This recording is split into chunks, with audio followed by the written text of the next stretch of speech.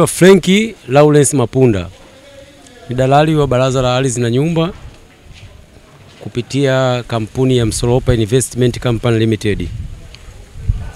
Hapa nilipo natekeleza amri ya mahakama ambayo amri hiyo ilitolewa tarehe moja mwezi wa pili.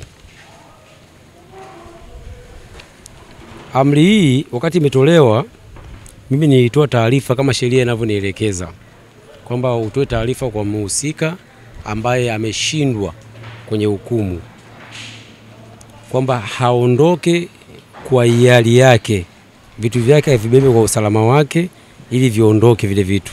Endapo atashindwa kutekeleza amri hiyo ya mahakama, amri hiyo ya mahakama ambayo wakati inasomwa hukumu na yeye alikuwepo, ina maana mimi nitakuja kumtoa kwa nguvu, na kama sijamtoa kwa nguvu, lazima nimpe taarifa. Kwa nilimpa notice ya siku kumi na nne aondoke kwenye eneo hili ndani ya muda wa siku kumi na nne. Akishindwa kuondoka kwa, kwa, kwa, kwa hiari yake baada ya kupokea taarifa hii, ina maana taratibu zingine za kisheria zitafuata ikiwemo kumwondoa kwa nguvu na kumkabidhi mshinda hukumu eneo lake. Kwa hiyo baada ya kutoa hii notisi yangu ambayo nilitoa tarehe mbili mwezi wa pili, nilipitia serikali ya mtaa na serikali ya mtaa nao pia walisaini taarifa.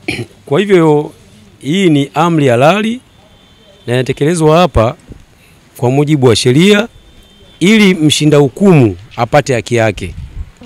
Kwa hiyo sisi tunasimamia hili zoezi, tunalifanya hili zoezi ili mshinda hukumu aweze kupata haki yake. Kwa jina naitwa Mohamed Namedi, ni mjumbe au mwenyekiti wa shina namba moja bloko D Mbezi Bichi B.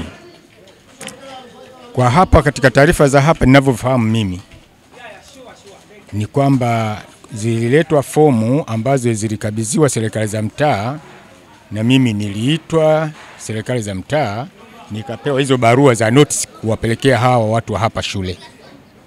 Nilifuatana na mjumbe wa serikali za mtaa, tukaja hapa na hawa wahusika ambao hizo barua zinatoka kwa mkuu wa wilaya, zimepitia kwa mkuu wa wilaya, zimepitia kwa RPC, nafikiri mkuu wa polisi.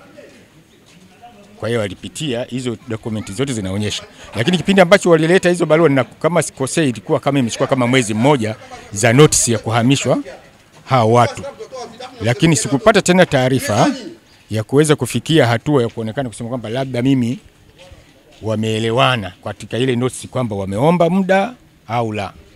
Lakini leo kwa kuwa notisi imeisha, ndio wameamua leo kuja kuhamisha vitu vya mali ya shule, lakini nachokielewa ni kwamba hapa hizo dokumenti zinaonyesha kwamba wanadaiwa, maana hii nyumba ni ya mtu binafsi, kwa hiyo walikodi, haikujengwa kama ni shule rasmi.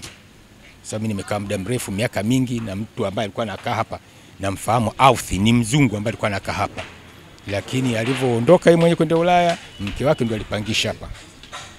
Kwa hiyo aliwapangisha hao kwa ajili ya kufanya shule hii hapa. Kwa hiyo sasa kuna deni ambayo wanadai, kwa hiyo waliletewa notice kwa ajili ya kudai hilo deni lao.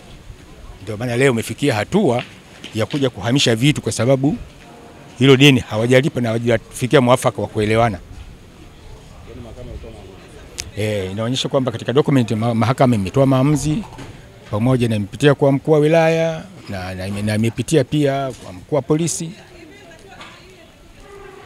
ndio, na hata serikali yetu ya mitaa wanafahamu jambo hilo akiwepo mwenyekiti wa serikali za mtaa. Ili kwa wa kwanza kupata habari zetu, tafadhali usisahau kusubscribe, like na kucomment.